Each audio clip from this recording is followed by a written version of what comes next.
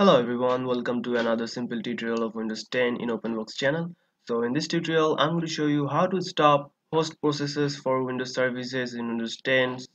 Uh, so if you're using larger amount of internet bandwidth, so sometimes host process uses large amount of internet bandwidth. So if you have slow slow internet, so I'm going to show you how to hopefully resolve this problem. So first of all, you just have to go to your search bar and search for services services so services app will be here. So just click it and open it up. After open it you have to find the background service intelligence here. So if you scroll down you can see there's option called background intelligent transfer service. So you just have to double click it. And you have to in the drop down list you have to choose manual here.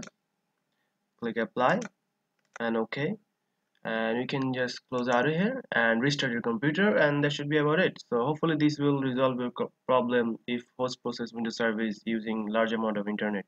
So that's it. So if you find this video helpful please subscribe to my channel and thank you for watching